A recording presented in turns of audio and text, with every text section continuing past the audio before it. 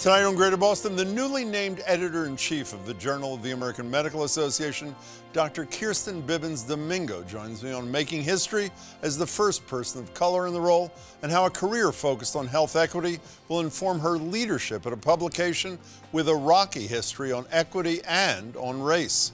Later on, we'll take a closer look at the representation in running ahead of Monday's 126th running of the Boston Marathon, and one woman looking to make a difference. Plus, national security expert Juliette Kayyem joins me on her new book, The Devil Never Sleeps, on how to navigate a world full of an increasing number of disasters. It's been nearly a year since a Boston pediatrician stepped down as editor in chief of the Journal of the American Medical Association, the result of another editor questioning whether racism even existed in medicine on a JAMA affiliated podcast, a question JAMA later promoted on Twitter.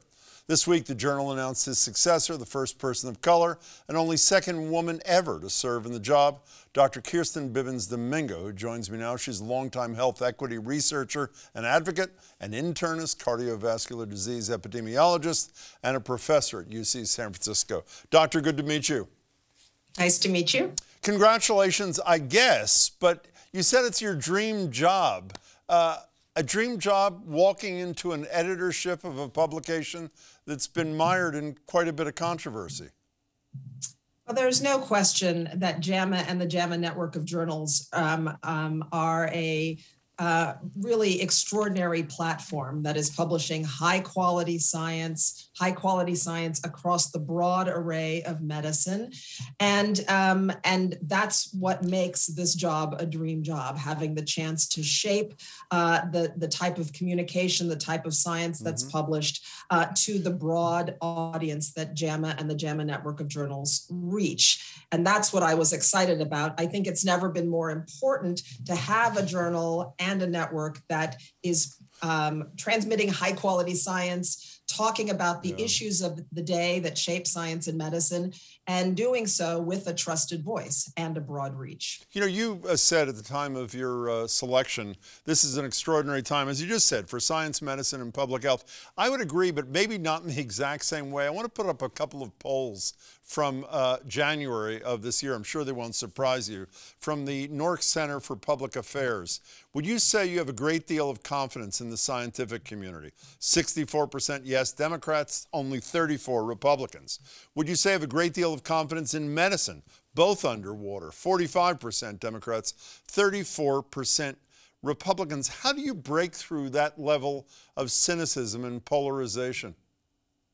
Yeah, I think what makes this a really, um, really uh, interesting time is that um, we are at um, really a, a, pinnacle of, of um, modern uh, science and medicine, the ability during this pandemic to translate so quickly into highly effective vaccines, highly effective treatments. And yet, um, within the same pandemic, we have uh, divisions across, here you've highlighted political lines. Um, we have divisions across many lines in the way in which that same science is viewed by, by different audiences. And I think that is, um, it, it is an interesting time. We see this actually across a number of sectors. I think, as many people point out, when an institution, when people lose faith in an institution, it's also incumbent upon that institution to help restore faith. Some of that is about um, understanding what it is that we're publishing, and some of it is about uh, thinking about the many ways in which we communicate to a diverse audience, diverse across multiple yeah. dimensions, including, including political, as you suggest. I, I want to talk about restoring faith, to use your expression, of following these instances, and they're not isolated, of racism. That podcast I mentioned, I mentioned the tweet now deleted by, your, by JAMA. No physician is racist, so how can there be structural racism in healthcare? An explanation of the idea by doctors for doctors in this user-friendly pod. I mean, I, speechless. And obviously, it's not just in the publication. I remember, I'm sure you do better than I, a few years ago, I think it was 220 white residents were surveyed. More than half of them thought their black patients had thicker skin, had higher resistance to pain. And it's almost like a science fiction movie. How do you fix what is clearly broken? Right. Uh, the, the first thing is for us to be able to talk about it, name it, and be truthful about what it is. Uh, that, that medicine and science don't exist apart from the larger conversations, the larger structural biases, racism, and inequities that exist within society. And in fact, in many ways, races, uh, racism in medicine contributes to the larger issues of um, structural inequities that we see if we as a larger society and then in particular in our profession in science and medicine want to address these issues we cannot be slow to name them we cannot be slow to acknowledge both the history as well as its influence on our uh, current contemporary practice uh, doing so is the important first step in uh, righting this wrong. I think uh, the podcast and the tweet and the types of self reflection that JAMA and the JAMA network have gone through over this last year um, are emblematic actually of the entire um, uh, the entire situation that medicine and science mm-hmm. have to go through. Um, and and i think that's the important thing to remember. None of us immu- is immune. This is not a single person's issue. Um, but if JAMA wants to be a trusted voice for science and medicine we have to be the first to acknowledge very clear things that are shaping medicine. As i mentioned when i introduced you dr health equity has been at the center of your career. Are, are you of the opinion that the spotlight that has been put on health inequity during COVID provides fertile ground for work like yours? Or is this like a passing thing? We care about it deeply and then we just move on? Yeah, it's complex, as as you just said. Um, it's complex because, I, in a good way, it has uh, the pandemic has shown a light, as many have said, on the deep inequities that existed well before the pandemic, and the pandemic made worse.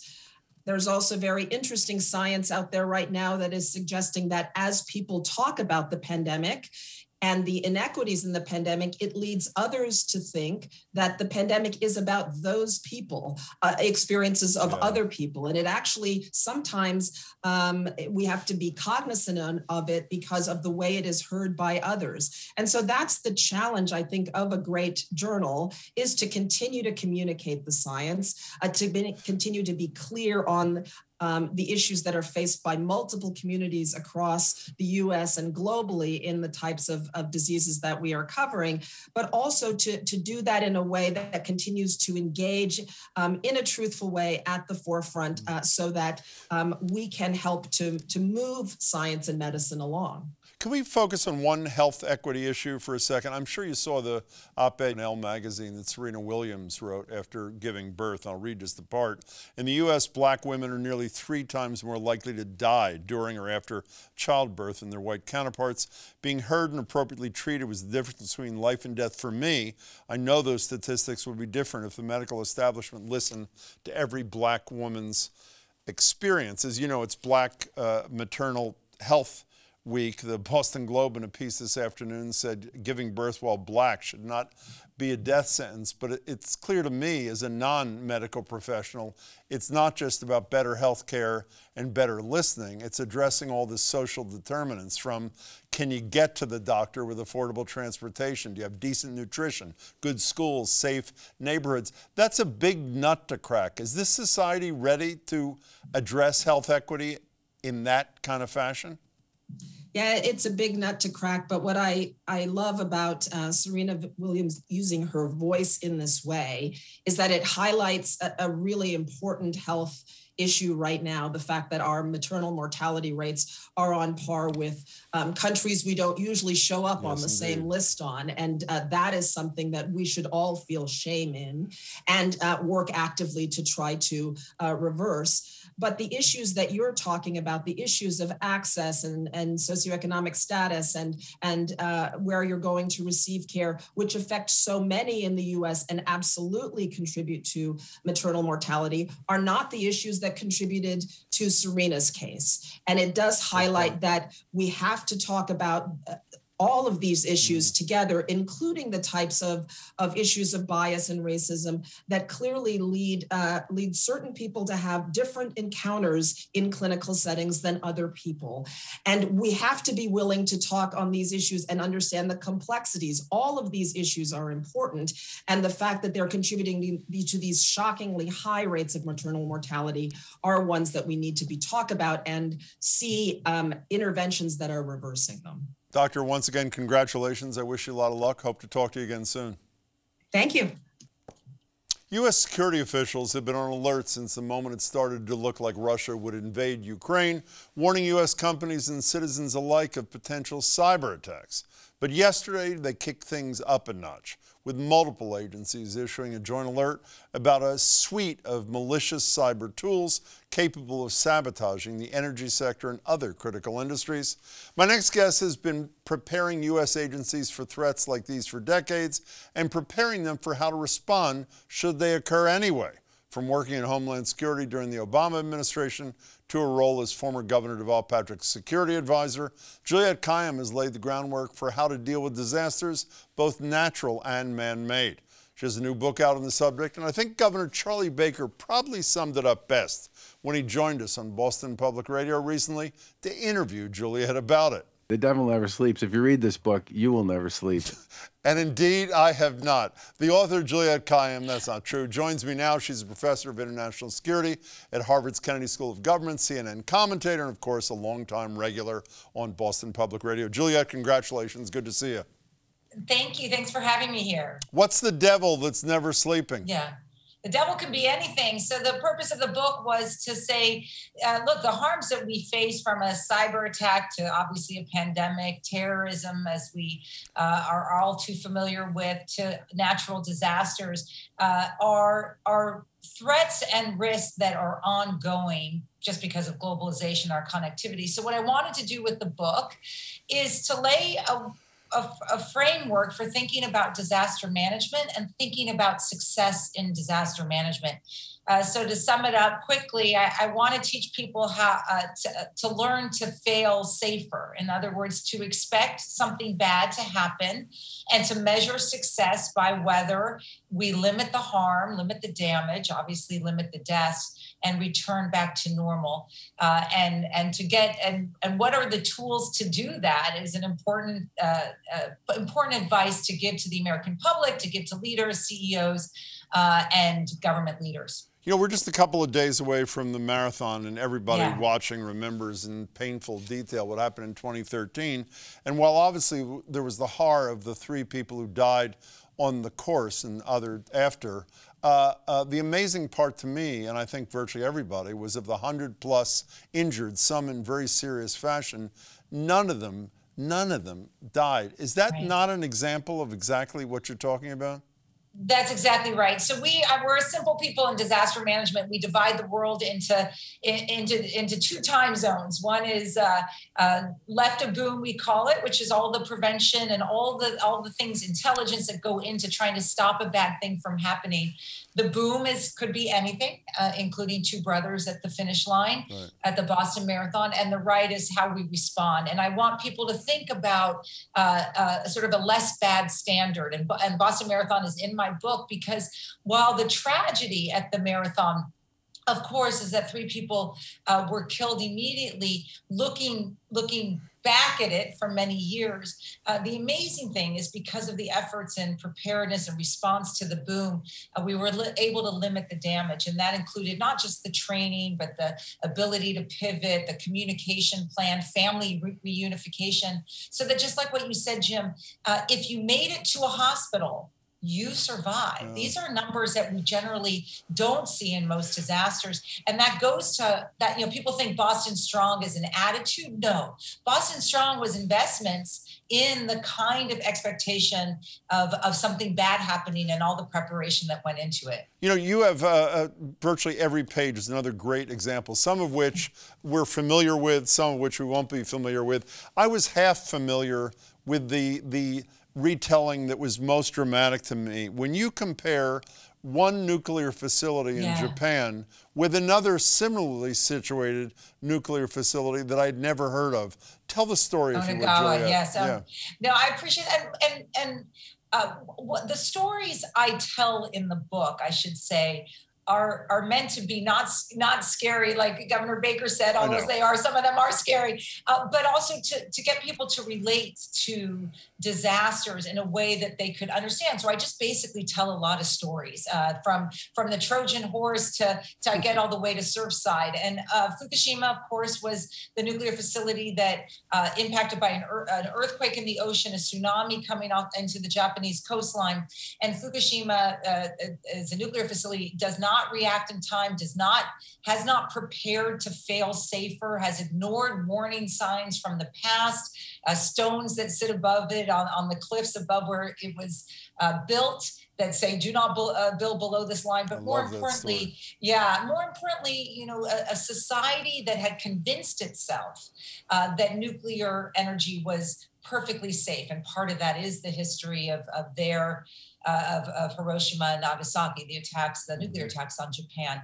Go down the block a couple miles, and this is a story you don't hear. There's a different facility, Onagawa, where people are trained to fail safer. In other words, they're going to measure success not in whether everything goes well, right? Because that can, that can't possibly be true in all cases, uh, but but whether they can respond and fail in a way that minimizes the harm. That nuclear facility had had damage from the earthquake, got lots of water from the tsunami, but did not have a radiation leak. So I, I the reader will will be steered towards the other story uh, rather than thinking Fukushima represents all nuclear energy, right? It doesn't. We can build nuclear facilities, for example, uh, safer uh, and safely. I don't use the word safe because we obviously live in a high risk society. You know, uh, when you and Governor were having uh, the governor were having a conversation on our show, it, it's clear that it's not just strategy and preparation; it's also their political considerations. Yeah. And he talked about spending more than hundred million dollars almost right away when he took office after the Right. blizzard of 2015 and the disasters that came with it for people. And after he told that story, you brought up something called the preparedness paradox. Explain what that is, Julia. Yeah.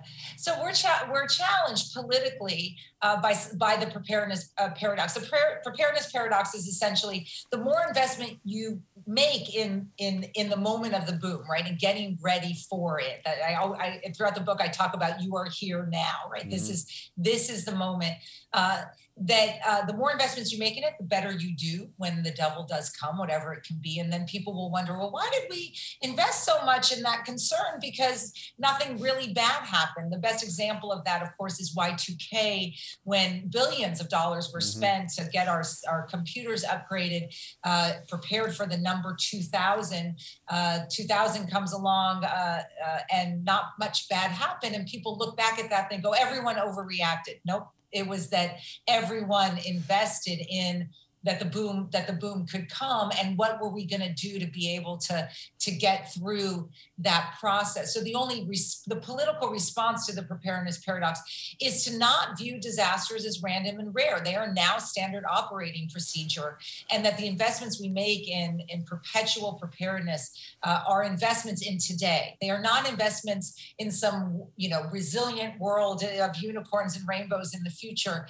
And if people can begin to see that, that there's a lot we can do today, right? I, I, I want to I want a better world in the future, but that's going to come later today uh, to minimize the harm that we that we are not going to be able to stop 100% of the time. So it's it's a realistic book, but one that I hope gives people agency as well. Otherwise, you're going to feel frustrated and and paralyzed all the time. And the people you give agency to should be clear. It's not just CEOs and No. elected leaders. You, you, uh, I think, use the phrase. All of us are crisis managers, and that includes the man or woman running his or her home and their family. All of these lessons apply to them as well. Yes. That's exactly right. So, uh, you know, from the highest level CEOs uh, to the uh, to the parent and the family members. I mean, obviously, after the pandemic, we certainly know this to be true. Uh, but I, what I wanted to to do with the book, or what I did with the book, is say, look, everything, you know, all these different harms can occur. The causes are often different, right? Look at the subway attack this week in New York, mm-hmm. and we, you know, who is that? What's his motivation? In some ways, it's irrelevant because from centuries centuries of of disasters I that I that I that I write about and draw lessons from.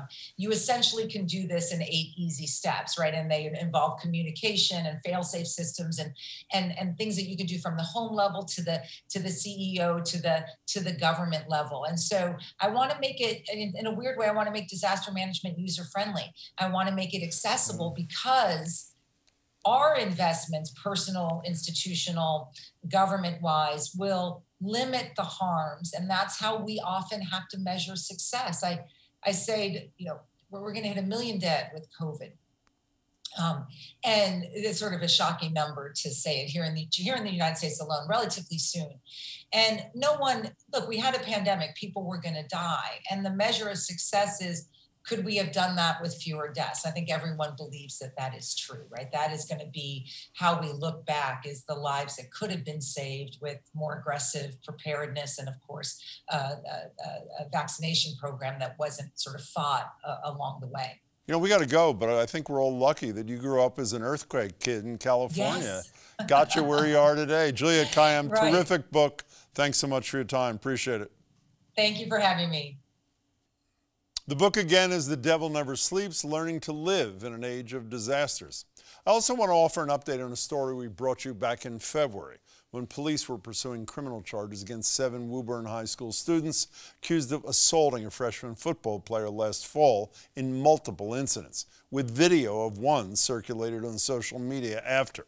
Now, nearly seven months since the first incident, assault charges have finally been filed against all seven students involved, students who Jonathan Casella said jumped him in locker room, punched and hit him with water bottles, and one of whom pulled down his pants and grabbed his genitals. Just one of several assaults, threats, and instances of bullying against him, which he told us in February has had a lasting impact. I lost half of my friends. Like it's it's it doesn't feel the same anymore to be out in public. And even in February, Casellas' parents and attorneys shared their frustration about how slowly the wheels of justice were turning and the lack of any charges against the adults involved after Jonathan told a coach about the first assault immediately. And according to them, nothing happened. It gets me emotional every time I have to talk about this because how the school system completely failed to protect one of their students. The family has notified Woburn officials that they're planning to sue the city and the school department. The school, for its part, says it's conducting a Title IX investigation of the incident. This coming Monday marks the 126th running of the Boston Marathon. And among 30,000 participants is one local woman with a big goal of making running more inclusive in the marathon and beyond running is really a microcosm of a larger society. So even though it should be all welcoming and inclusive, it's not.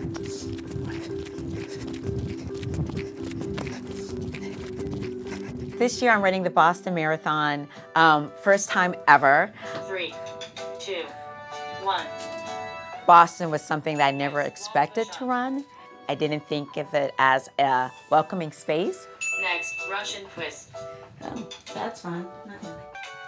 When you see like the banners all over the city, they're only in specific parts of the city. You don't see them in communities, let's say, of Roxbury or Mattapan. And when you see it on TV or advertised, it always is the Africans and the white runners. So then, me as an African American, why should I care? Why should I be involved? Because my face, my name, my voice has not been a part of it. My path to running started in 2011. I lost my mother because of cancer, and so I was grieving.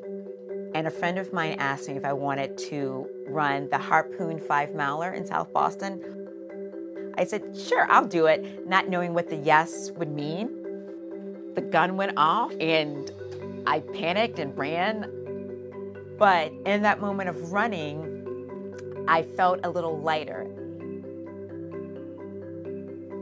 I had been numb for so long, and running this race, I actually felt something. So I started to run in my neighborhood, and it was healing for me. And then as I was running, I realized I didn't see any other black person running. Like I was the only person who looked like me running, and I knew that couldn't be the case. I knew there were other black women who ran, I just didn't know where they are. And the magazines and the media, there's this, this idea of a woman's runner's body, of how she'd be probably tall, thin, white. You don't see, like, I have curves, I have an afro, I have dreads, and I run. I've learned that there is this sub community of black women who do run who are invisible in this space. And my goal was to make us visible. So can challenge the power structure because they're educators. I'm a sociology professor at Salem State University. Inequality that what we've been talking about, sociological imagination. So the academic in me was looking up like literature on black women running, and I found hardly anything.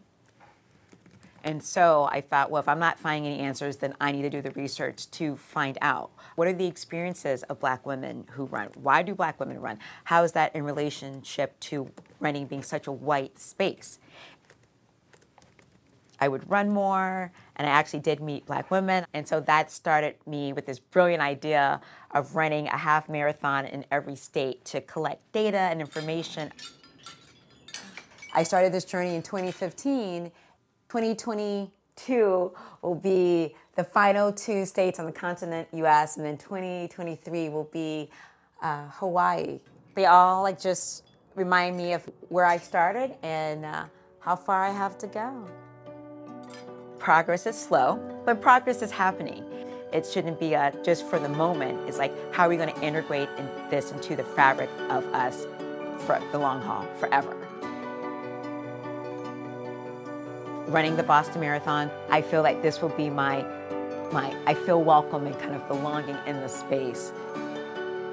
Though it took some time, but when people ask me, you know, have you run the Boston Marathon, I'll be very proud to say, yes, I have. I did it.